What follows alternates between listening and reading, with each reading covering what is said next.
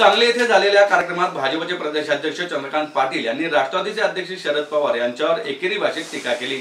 मात्र या वक्तव्याचा निषेध करत पुण्यातील एका राष्ट्रवादीच्या कार्यकर्त्यांनी चंद्रकांत पाटील यांना थेट नवरत्न तेल डोक्याला लावण्यासाठी पाठवले आहे. संदीप काळे असं या कार्यकर्त्याचे नाव आहे. चंद्रकांत पाटील यांनी शरद पवारांवर एकेरी भाषेत टीका केल्यानंतर त्याला उत्तर देताना काळे यांनी म्हटलं आहे की आपण कोणाबद्दल बोलतो आपली तेवढी उंची आहे का?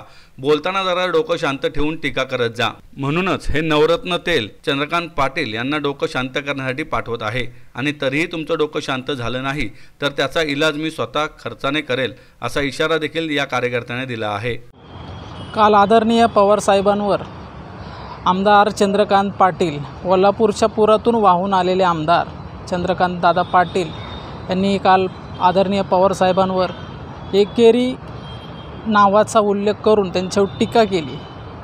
साहेबांचं म्हणजे जे काम आहे ते त्या उंचीपर्यंत हे कधी पोचू शकत नाही आहेत आणि काय बोलावं कुणाला बोलावं ही थोडीशीसुद्धा म्हणजे डोकं चालतच नाही आहे त्यासाठी मी त्यांना हे तेल नवरत्न तेल देतो आहे आणि या तेलाचा वापर त्यांनी ज्या ज्यावेळी विरोधकावर टीका करतील त्यावेळी वापर करावा.